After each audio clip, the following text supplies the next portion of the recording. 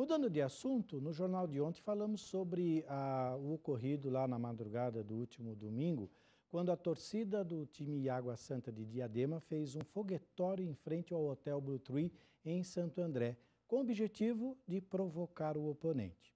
Porém, a situação incomodou e atrapalhou também a população local. A nossa equipe de reportagem foi até ali naquela região e preparou uma matéria especial sobre esse assunto. Confira.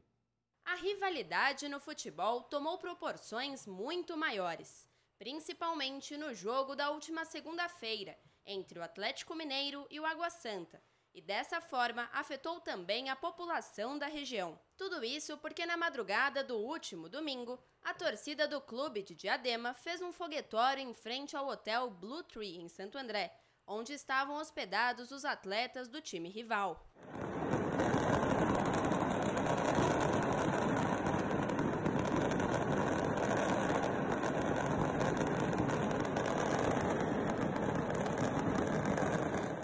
Total foram realizadas duas baterias de fogos, uma às 2h35 e outra às 4h40 da manhã, sendo que a primeira foi na rua lateral ao hotel e a segunda bem aqui na frente, na Avenida Portugal.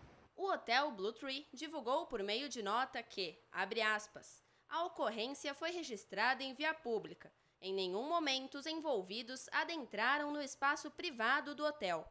Da mesma maneira que nossos queridos vizinhos, que muito prezamos e fazemos questão de manter formidável relacionamento, todos nossos hóspedes também foram incomodados em consequências dos fatos, tratando-se, portanto, de ocorrência policial, pela qual o hotel não deve ser responsabilizado. Estamos solidários aos vizinhos e, da mesma forma, aguardando providências do poder público. Fecha aspas. Que absurdo, não? Agora, é importante ressaltar que o jogo entre os clubes também teve momentos tensos. Isso porque um raio atingiu o campo e um dos jogadores do Água Santa, o Henrique, camisa número 4, que acabou se machucando, mas infelizmente ele já se recuperou e passa muito bem. Foi muito bem atendido pela ambulância ali no próprio gramado.